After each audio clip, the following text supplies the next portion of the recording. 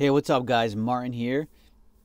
It is Tuesday, August 13th, 2024. Just wanted to do a really quick earthquake uh, check. Uh, this morning, um, a tremendous amount of earthquake activity here in the Reykjanes Peninsula, but now, uh, very, very interesting. Uh, it looks like there's been an explosion of, of earthquakes, and, it, and it's still uh, it's still going off uh, near the tip of the Reykjanes Peninsula by uh, Skálafell. Uh, as we see here, this this incredible amount of uh, activity happening right now uh, near Skálafell.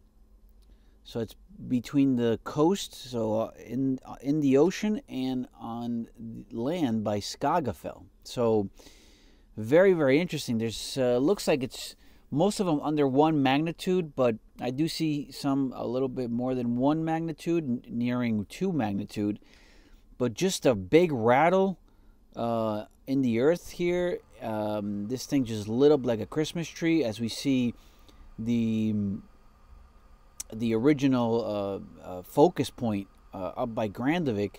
Uh, there is some some activity. This is in the last 12 hours um, but not as crazy as what's going on here. Uh, this this was a interesting interesting update um, this morning.